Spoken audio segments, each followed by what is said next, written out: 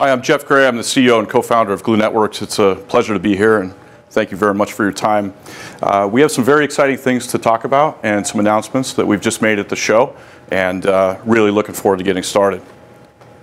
So first of all, just a little overview, and then I will get out of the way and let uh, our esteemed team uh, take over.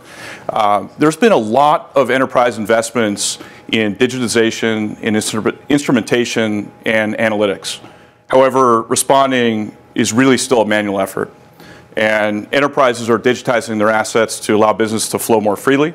Uh, they're instrumenting their networks to be able to understand what is going well and what is going wrong in terms of packet flows. And then they're also installing analytics to be able to look at, you know, 10 million alerts and funnel them down to the 10 or 20 that matter. However, responding is still a manual effort. And so Glue is focused on really what we believe and our customers are telling us is the next frontier, which is moving from manual to autonomic change. And if we look at where enterprises currently are, feature sets are going through the roof, complexity is increasing, agility and speed of service delivery are decreasing dramatically, and IT staff is remaining flat. And so enterprises are saying, look, we are at a deadlock. We need to do something different. And currently, after a survey that Cisco just published, 80% of IT time and 67% of budget is focused on OPEX and operational cost. And so if we look at a single vendor environment, it's hard enough to bring automation within even a pocket of the network, but creating automation across all the different multi-vendor silos in a vendor agnostic manner that allows enterprises to truly respond, whether it be all the way from the data center, WAN, or LAN. This is something that has just not happened yet in the networking world. And we are very focused on this problem.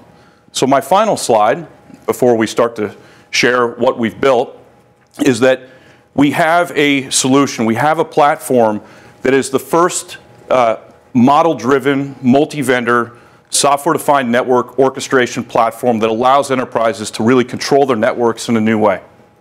And it simplifies network complexity from the perspective that they can data model what they have without adding another box, without redeploying, a way to be able to code and bring a layer of automation to whatever brownfield environments they currently have. Once that data model is created and the intent is in the model, and there's two-way communication between the Gluware engine and platform down to any device or any controller, then network lifecycle management costs can be reduced dramatically because now it's model driven, make a change, and a policy is able to be pushed with error checking and, and healing and understanding the exact intent is actually delivered to that device.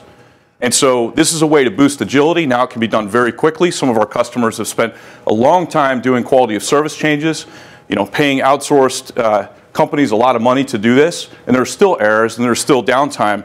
If you're able to make a quality change across your entire WAN environment, your entire LAN environment, regardless of switch, regardless of vendor, and understand the exact state that it's in, there's a lot of value there that our customers are telling us.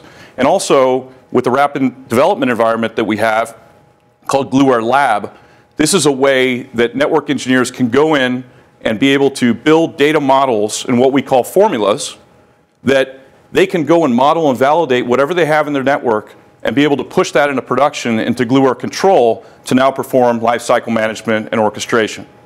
And the key things that we are now announcing at the show is that one, we've now come with 13 different multi-vendor packages uh, and operating systems. So we'll go into that in a moment. It's also in our press release, but 13 vendors, and our plan is to be able to add a new vendor uh, every three weeks and be able to orchestrate whatever is in a brownfield environment. We now also have data center, we have WAN and LAN. We started in the WAN. We wanted to tackle one of the most challenging environments where everything's distributed. You know, there's a lot of latency issues, a lot of, a lot of heterogeneous uh, environments. And so we tackled WAN first. Now we've expanded into both campus as well as data center.